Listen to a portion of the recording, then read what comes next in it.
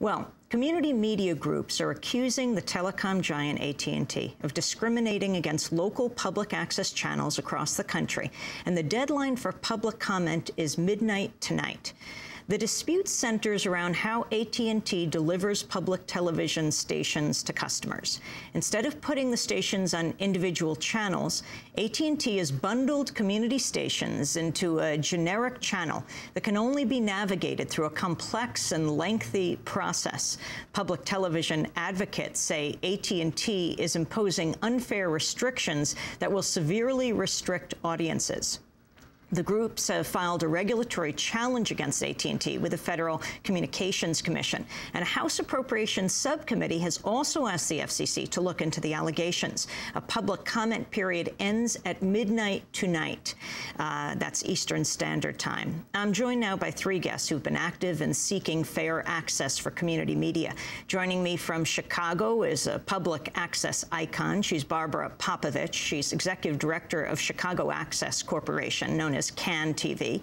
Joining me on the telephone from Palo Alto, California is Annie Folger. She's executive director of the Mid-Peninsula Community Media Center, serving the Bay Area. And on the line from Sacramento, California is Sue Buske. She's president of the Buske Group, which is a Sacramento-based telecommunications consulting firm Sue is also the former head of the National Federation of Local Cable Programmers, now known as the Alliance for Community Media. We did ask representatives of AT&T to appear on the broadcast, but they didn't respond to our request. Uh, Barbara Popovich, let's begin with you. Um, I think the way legislation often gets passed is that it's so complicated no one really understands it. Can you talk about what it is you're so concerned about right now?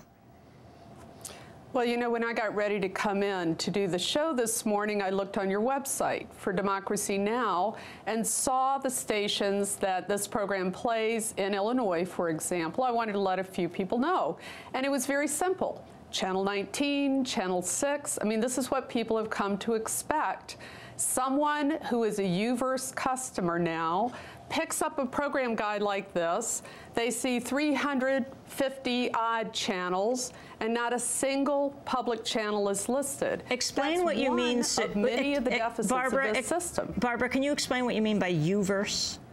Well, um, AT&T has started a new system it, it, calls UVerse, and this has all kinds of bells and whistles, so that when people go to watch a program, AT&T on its own website advertises things like fast channel change, easy access to a program guide. Sadly, though, none of those benefits are available for these public channels. People have come to expect to be able to do a simple thing like channel surf between a broadcast channel, a public channel, whatever they wish to see to do a DVR recording when they go off to work during the day. 30% of the population now rely on DVR recordings in order to be able to watch the program they want to see. None of these benefits are available on um, UVerse, on uh, AT&T's new product for television viewers for public access channels. And this is a grave concern for educators, government entities, for the emergency alerts that those cities put out, for local residents who want to communicate, for Democracy Now!, for that matter, to reach the people you're reaching every day. So this is really a very inferior system, and for the first time in the history of PEG access, it, it's a clearly discriminatory decision to put these channels in an inferior format in every way that matters to a viewer. Uh, Consumer Rights Board, the California Public Utilities Commission Division of Ratepayer Advocates, put together a video on how difficult it is to access a community television station under the AT&T system. Normally, a TV viewer can switch from channel to channel, as you said, Barbara, but as this video shows, switching to a public station with AT&T takes over a minute, if you can figure it out. AT&T has chosen to group all community channels on channel 99. So the first thing that you would have to do is select channel 99.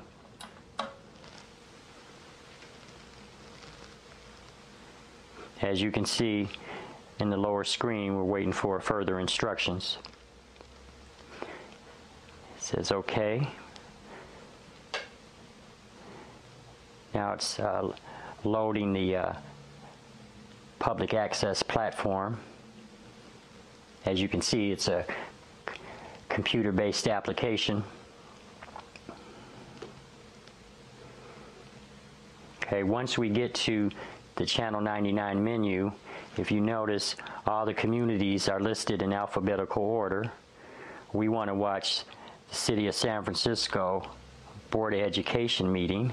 So we reach San Francisco local government channels. Then another menu shows four channels available. Okay, you can wait for the preview screen to show. There we go. So as you can see, it took a minute and five seconds to go from a commercial channel to San Francisco uh, Board of Supervisors meeting. Um, normally, it would have taken a second or two to select the specific channel that your cable provider has assigned for that particular uh, government channel.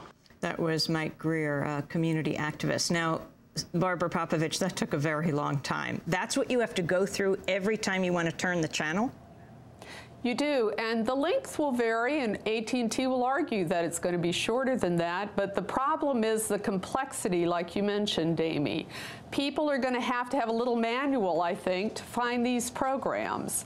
And when you think that these are educators, we've got eight HIV AIDS agencies, four domestic violence agencies. These are people that need immediate access to their audience, not to be shunted aside, moved off, uh, out of reach, uh, like one of our educators said, out of sight, out of mind for this programming.